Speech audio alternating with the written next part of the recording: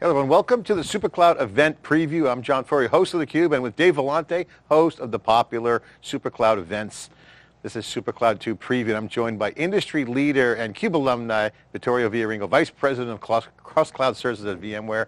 Uh, Vittorio, great to see you. We're here for the preview of SuperCloud 2 on January 17th. Uh, virtual event, live stage performance, but streamed out to the audience virtually. We're going to do a preview. Thanks for coming in. My pleasure. Always uh, gl glad to be here.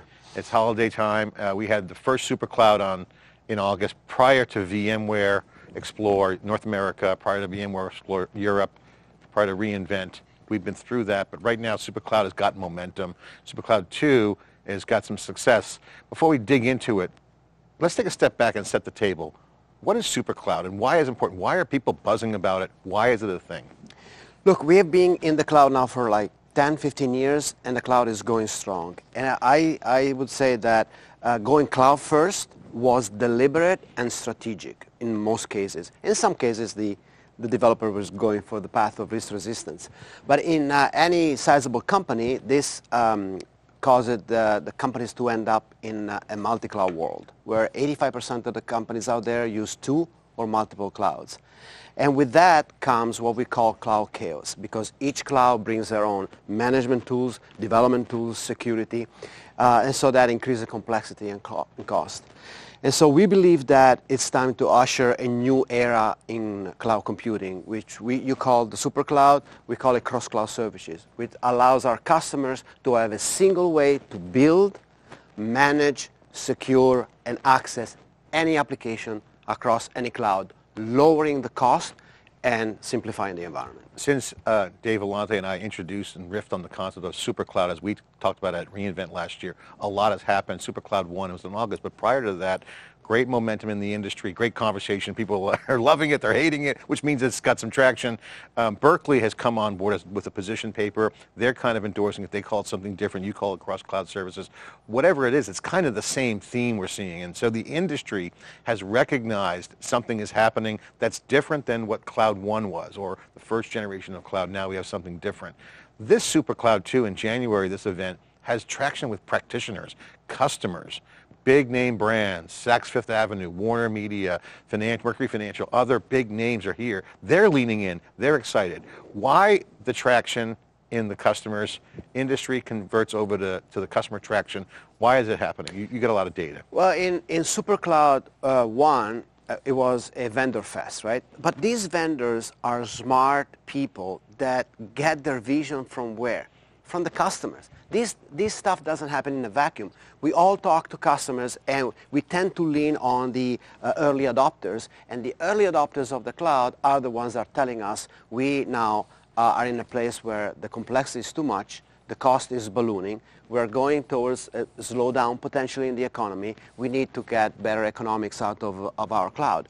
And so uh, every single customer I talk to today or any sizable company has this problem. The developers have gone off, built all these applications, and now the business is coming to the operators and asking, where are my applications? Are they performing? What is the security posture? And how do we do compliance? And so now they're realizing we need to do something uh, about this or it's going to be unmanageable. I want to go to a clip I pulled out from the, uh, our uh, video data lake in the Cube um, if we can go to that clip, it's um, Chuck Whitten, Dell, at a keynote, he was talking about what he calls uh, multi-cloud by default, not by design. This is a state of the, um, of the industry. If going to roll that clip, and I want to get your reaction to that.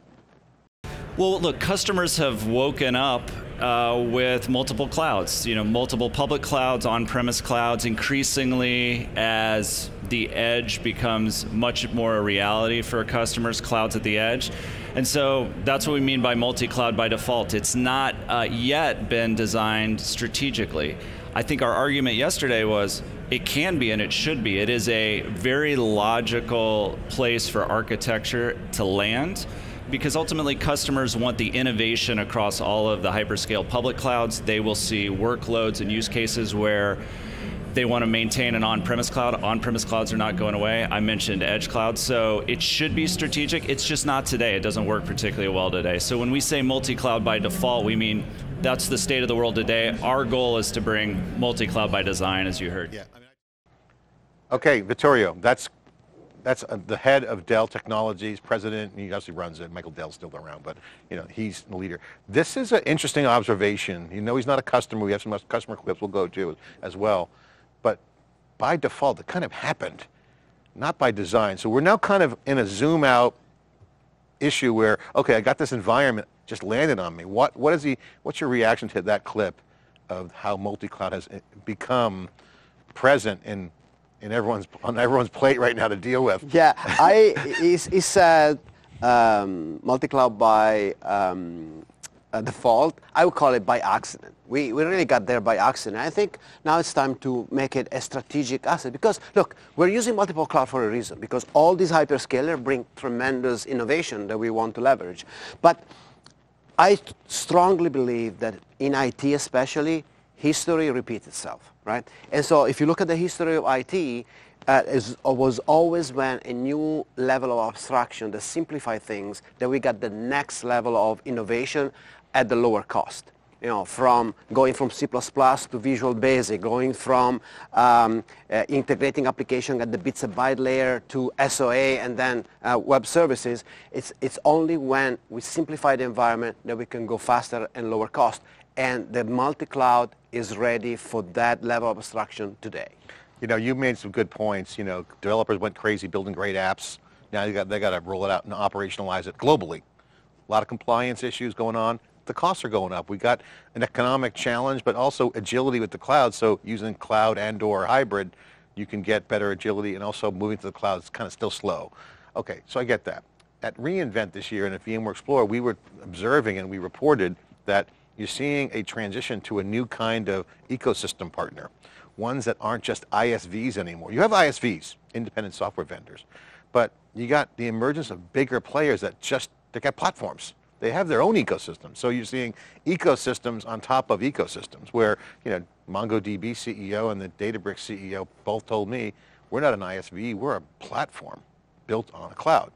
So this new kind of super cloud-like thing is going on why should someone pay attention to the super cloud movement? We're on two. We're going to continue to do these out in the open. Anyone can participate. Why should people pay attention to this? Why should they come to the event? Why is this important? Is this truly an inflection point? And if they do pay attention, what should they pay attention to? I would pay attention to two things. If you are customers that are now uh, starting to realize that you have a multi-cloud problem and the costs are getting out of control, look at what the leading vendors are saying, connect the dots with the early adopters and some of the customers that we're going to have at SuperCloud 2 and use those learning to not fall into the same trap. So uh, I'll give you an example. I was talking to a Fortune 50 in Europe in my latest trip, and this is an, a CIO that is telling me, we build all these applications, and now for compliance reason, the business is coming to me. I don't even know where they are right? And so what I was telling him, so look, there are other customers are already there. What did they do? They built a platform engineering team. What is a platform engineering team? Is an operation team that understands how developers build modern applications and lays down the foundation across multiple clouds so the developers can be developers and do their thing, which is writing code. But now you as a CIO, as a, as a, as a governing body, as a security team, can have the guardrails so you know that these applications are performing at a lower cost and they are secure and compliant. But you know it's really uh, encouraging and, and love to get your thoughts on this is one is the general consensus of industry leaders I talk to like yourself in the round is the old way was solve complexity with more complexity. The cloud demands simplicity. You mentioned abstraction layer. This is our next inflection point. It's got to be simpler and it's got to be easy and it's got to be performant.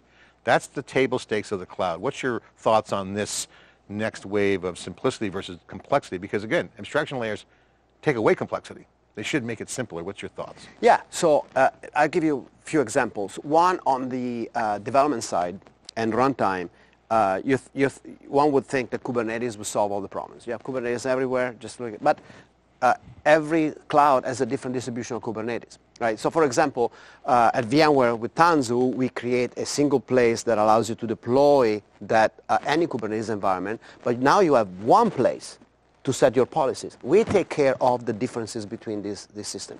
The second area is management. Right? So once you have all everything deployed, how do you get a single object model that tells you where your stuff is and how it's performing and then apply policies to it uh, as well. So these are two areas, and security and so on and so forth. So the idea is that figure out what you can abstract and make common across cloud, make that simple and put in one place, while uh, always allowing the developers to go underneath and use the differentiated features for innovation. Yeah, one of the areas I'm excited, I want to get your thoughts on too, is uh, we haven't talked about this in the past, but it, I'll throw it out there. I think the, the new AI coming out, Chat, GPT, and other things like Lensa, you're starting to see new kinds of AI coming. That's going to be right in the heavy lifting opportunity to make things easier with AI and automation. I think AI will be a big factor in SuperCloud and, and cross-cloud. What's your thoughts? Well, the, one way to look at AI is, is one of the many main services that you would want out of a multi-cloud, right? You want eventually, right now, Google seems to have an edge, but you know the competition creates you know innovation. So later on, you want to use something from Azure or from or from Oracle or something like that. So you want at some point that is going to be prone. Every single service in in the cloud is going to be prone to abstraction and simplification. And I, am just excited about to see what, what I can't wait for the chat uh, services to write code automatically for us. Well, they do. They do. They're doing it now. They do. Oh, the other day, somebody, you know, that I do these uh, song parodies for uh, so for fun sometimes, and somebody the other day said, uh, asked the AI to write a uh, parody song for multi-cloud, and so I have the lyrics. I'm, stay tuned. I should do that for my blog post. Hey, write a blog post on this. January 17th, Victoria, thanks for coming in and sharing the preview. Bottom line, why should people come? Why is it important? What's your final kind of takeaway billboard message?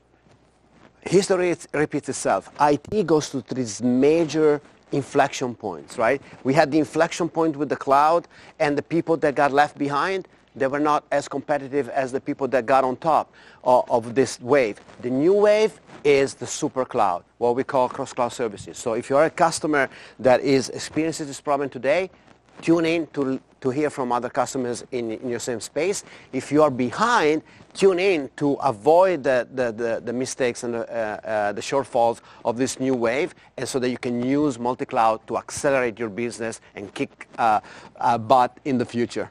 All right, kicking, taking names and kicking butt. Okay, we're here on J January 17th, SuperCloud 2. Momentum continues. We'll be SuperCloud 3, there'll be SuperCloud 4. More and more open conversations.